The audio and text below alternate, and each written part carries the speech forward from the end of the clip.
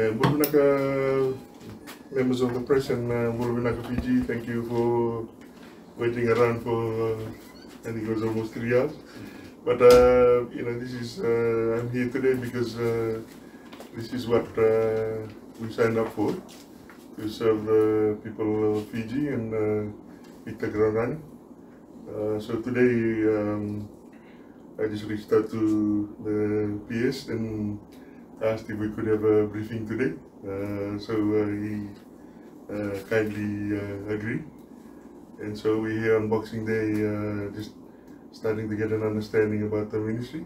Um, it's clear that the Ministry for Trade and Commerce is a key ministry for our government. Um, and clearly there are a lot of opportunities to uh, to look at. Um, my task is to try and ensure, with the help of the PS and his team, to try and um, build a, build some momentum economically. Um, I can see from the discussion today that there are opportunities there.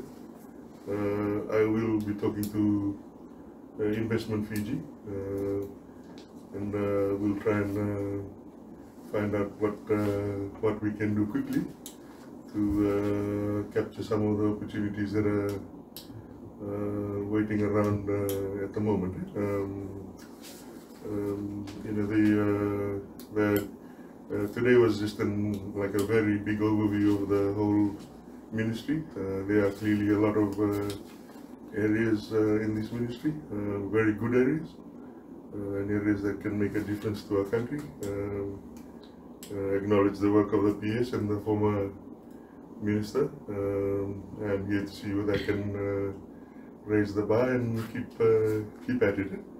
And that's so that's basically why I'm here today uh, to try and hit the ground running.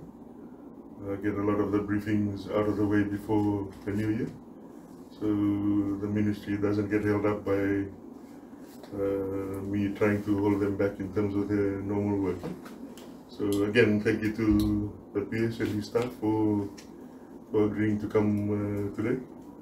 Uh, and I certainly look forward and, uh, to working with them. I'm excited about some of the opportunities that we discussed today. Um, one of the big areas is obviously reforms and making uh, business easier in our country.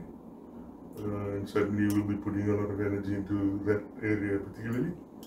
Um, uh, because if that is done well, the business will start uh, churning a lot faster.